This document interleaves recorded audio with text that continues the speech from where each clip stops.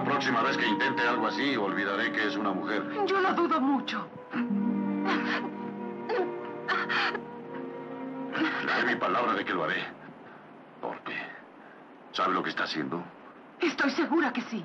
Pues entérese de esto. ¿Cuánto cree que duraríamos aquí sin esa balsa? Sin tener ese rifle, con toda la región hirviendo de indios. ¿A cuántas clases de tonta pertenece? No pertenezco a su clase. ¿A cuál entonces? ¿A la de Weston? ¿Ama tanto a esa rata que arriesgaría nuestra vida solo para evitar que le atrape? Usted jamás entendería eso. No, no lo entiendo.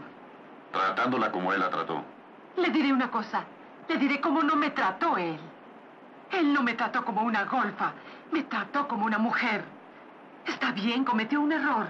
Pero si usted hubiera vivido como él vivió siempre, entre migajas y piojos, tal vez cometiera tonterías si tuviera oportunidad de hacer una fortuna. Vez cometiera estupideces con usted mismo. Yo no dejaría morir a un niño, ni a una mujer.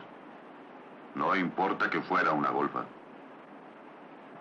Supongo que usted jamás cometió un error. Usted es tan perfecto. Jamás cometió ninguno. Ninguno por el que no pagara, como él lo hará. De acuerdo. Usted sabe mucho sobre él. Pero él también sabe mucho sobre usted. Él sabe todo sobre usted. Si él cometió un error con usted, cuando menos no fue a homicidio. ¿A qué se refiere con eso?